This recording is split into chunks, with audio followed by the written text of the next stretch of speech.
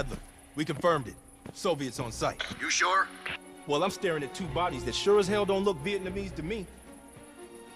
Bell, grab that comms log. Let's see who the fuck they've been talking to.